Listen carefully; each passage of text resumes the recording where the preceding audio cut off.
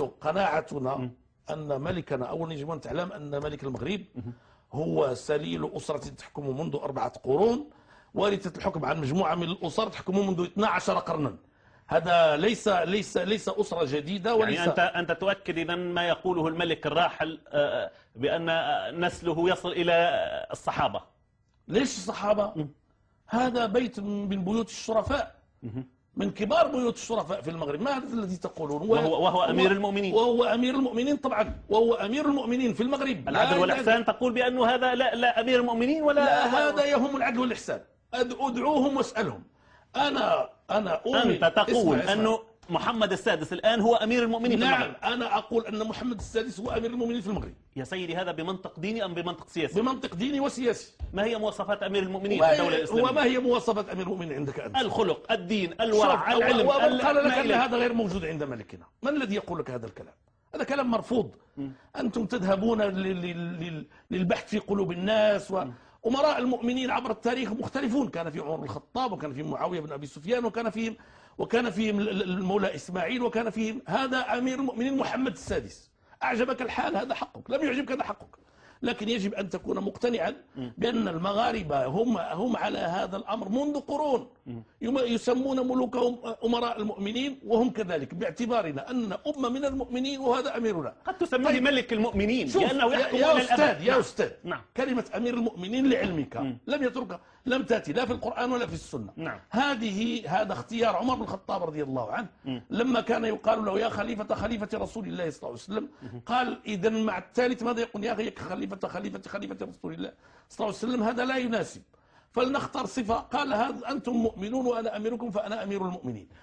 فصفة ملكنا بصفته أميرا للمؤمنين هذه صفة لا نقاش حولها. أولا المسألة الثانية بالنسبة إلينا بالنسبة إلينا المسألة الثانية هذه موجودة في الدستور وتضمن الصفة الدينية للدولة.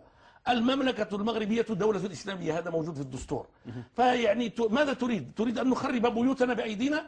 لا يعني هذه دولة إسلامية وملكها أمير المؤمنين وهذا هو الذي يعطي فرصة للمطالبة بتطبيق كل ما أمكن من من الدين الإسلامي لأنه لأننا في دولة إسلامية ملك أمير المؤمنين. قد تكون ملكية إسلامية وقد تكون جمهورية إسلامية لماذا لا تكون جمهورية إسلامية؟ شوف أنا سأقول لك الذي يقول هذا الكلام لا يعرف التاريخ ولا يعرف مصلحة البلد ولا يعرف المغرب أصلا.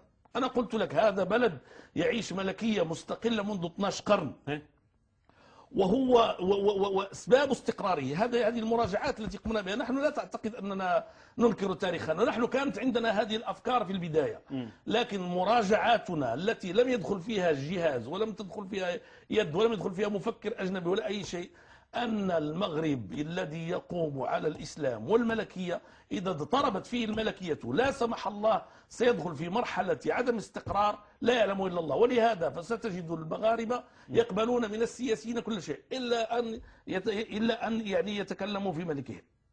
ولهذا يعني ولهذا أنا لا أريد لا أريد العودة إلى سنوات الحسن الثاني الراحل السابقة والسجون. هو استقرار. إيش حكاية السجون؟ استقرار بقبضة الحديد وليس استقرار. هذا الذي تقوله غير صحيح. هذا الذي تقوله غير صحيح. يعني الحسن الثاني رحمه الله في زمانه كانت إشكاليات لكن لم يكن الاستقرار بسبب قبضة الحديد فقط. المغاربة والعلماء وال وال وال والأحزاب السياسية بما في ذلك اليساريون والاشتراكيون ترى عبد الرحيم بوعبيد بقبضة الحديد كان كان كان كان لا, لا, لا يشكك في شرعية الملكية أو علال الفاسي بقبضة الحديد ترى مثل هؤلاء الرجال كانوا يخافون من قبضة الحديد هذا عقلاء القوم. مقتنعون بأن بلدنا يقوم على أمرين أساسيين رئيسيين الدين الإسلامي والملكية.